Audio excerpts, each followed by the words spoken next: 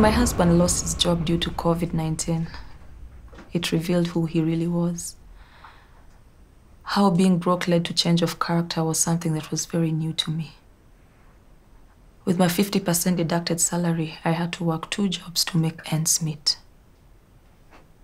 Then he started shouting for no reason. He even slapped me once. But it's hard times, and the last thing you want to do is break a marriage, especially with that child in the picture. So when he apologized, I forgave him. I should have moved on.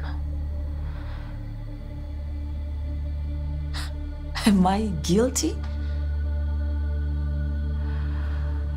Let's first start with the definition of the word guilty. I guess it's the act of having committed a specified or amplified crime.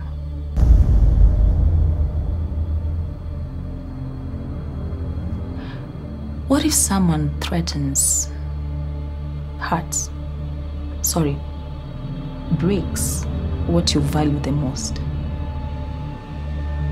This is a point of no return.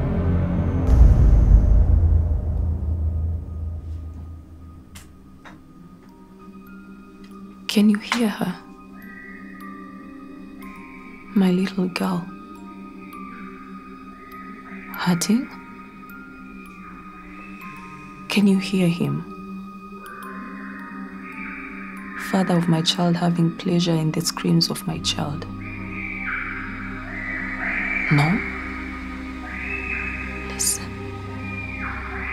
Listen carefully.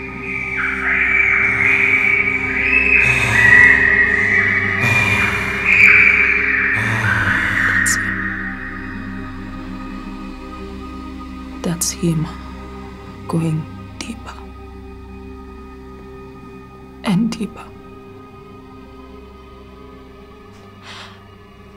Can you hear her calling my name? Yeah. She does that when she's scared. But it didn't stop. He killed her. Killed her spirit, her self esteem, her trust. Why? Why? Are you kidding me right now? Why I did it?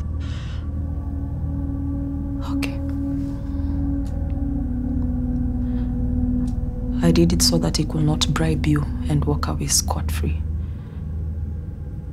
I did it so that he could not prey on another woman's daughter. I have a question for you. Do you know what's the most dangerous creature on earth?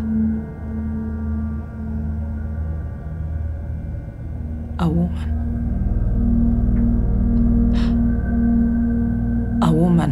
Is ready to fight to death to protect her child.